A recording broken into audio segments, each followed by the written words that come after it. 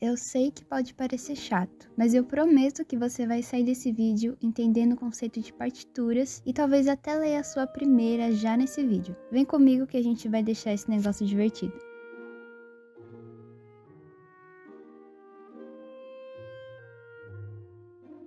Podemos dizer que a partitura é a linguagem oficial dos músicos, já que não precisa nem falar o mesmo idioma para se entender. Um italiano pode chegar com um pedaço de papel e as notas escritas em partitura, que se você é brasileiro e souber ler, com certeza não vai ter dificuldade em entender. Para ler partitura, primeiro você vai ter que saber o que é isso aqui, o pentagrama.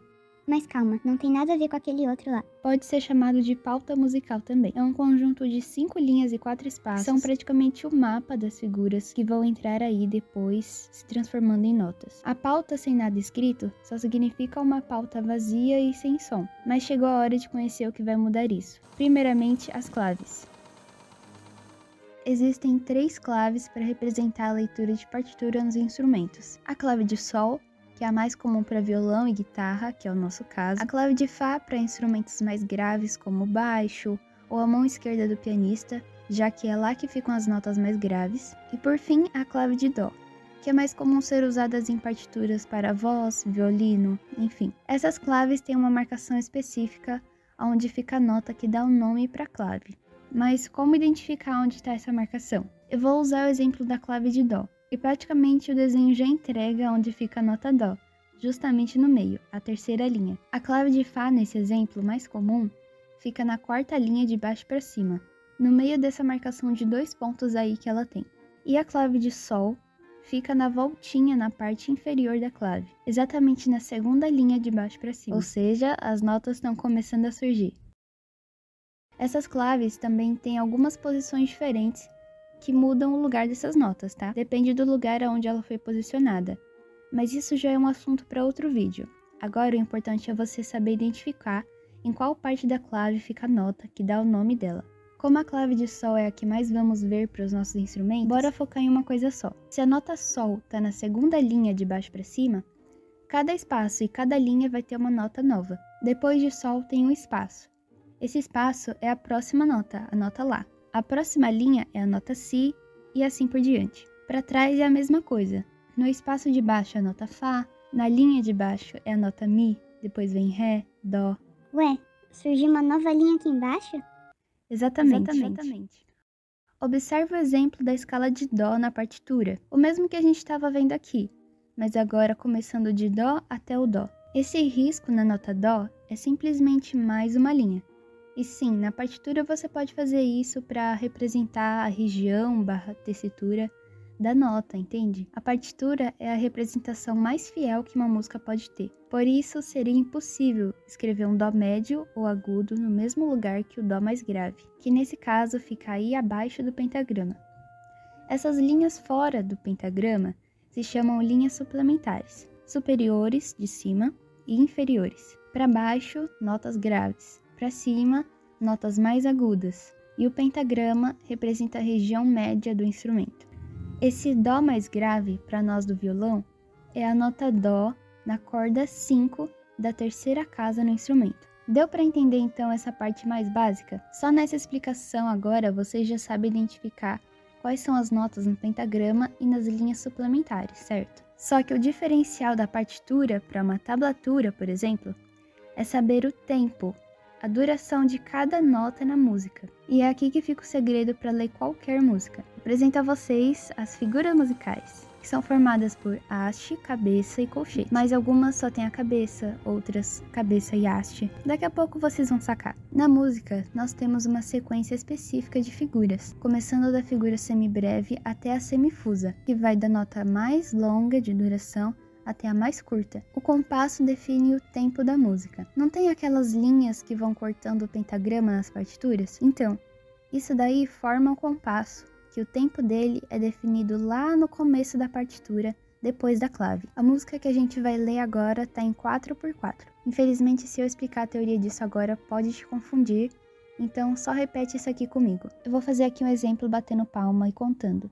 Desse jeito aqui. Um, dois, 3, 4. Voltando nas figuras musicais, eu vou focar em explicar para vocês duas figuras do jeito mais simples possível, só para mostrar para vocês como é essa sensação de ler pela primeira vez. A primeira é a semínima, que vale um tempo. E aí, naquela contagem que eu fiz com vocês, vai ficar assim. Ah, e a gente precisa falar igual o professor Girafales, é normal. Um, dois, três, quatro. Tá, tá, tá, tá. A segunda figura é a colcheia, que vale a metade da semínima, ou seja, meio tempo. E assim, para completar um tempo todo, não vai ser igual foi a semínima, que o tá dura um tempo todo. Mas sim, agora vamos ter que falar tá duas vezes para completar um tempo. Um, dois, três, quatro. Tá, tá, tá, tá, tá, tá, tá, tá. Basicamente é isso. A semínima não tem uma ligação com outra semínima, ok? Elas ficam sempre separadas. Agora a colcheia, sim. Eu poderia escrever ela tanto desse jeito quanto assim. Aqui o que acontece é que eu peguei aqueles colchetes das duas que estavam soltas e juntei. Pronto. Agora, bora ler. A música escolhida foi a música do joguinho do Paul.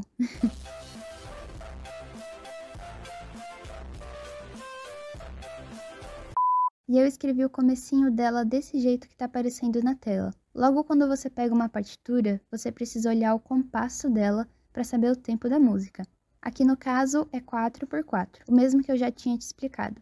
E todas essas notas estão na escala de Dó que a gente também viu, que ela tem a clave de Sol e ela tem quatro compassos, que são separados por essas barrinhas. E tem uma barrinha diferente lá no final. Essa barrinha diferente do final é o retornelo. Significa que a gente vai tocar a partitura inteira uma vez, e quando chegar lá nessa barrinha do retornelo, a gente vai repetir tudo de novo mais uma vez. Lembra que a figura semínima vale um tempo? Então esse 4x4 significa que ele cabe 4 semínimas. Mas a gente também viu a colcheia, que vale metade de um tempo. Então, dentro desse 4x4, vão ter que ter 8 colcheias para dar 4 tempos inteiros.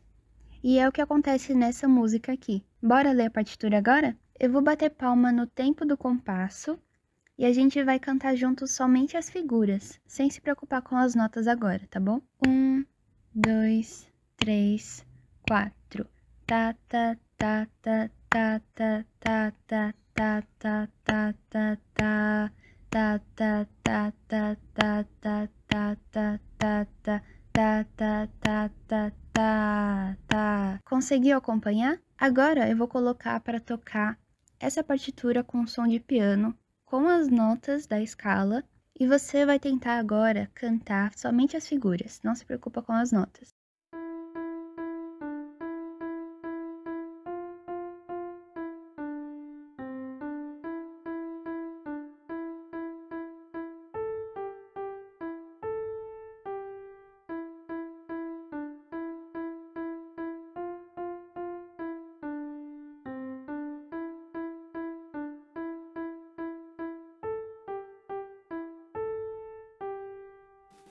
Mas agora é a sua vez de fazer sozinho para ver se você conseguiu entender mesmo, beleza? Se você conseguiu ler, meus parabéns. Esse é o básico da partitura. Se tiver alguma dúvida, volta nesse vídeo, vê a explicação de novo. E eu espero que tenha te ajudado. Se você gostou desse vídeo, te ajudou de alguma forma, eu só peço seu like em troca disso e a sua inscrição com o sininho ativado para não perder mais nenhum vídeo e aula. Tamo junto e até a próxima!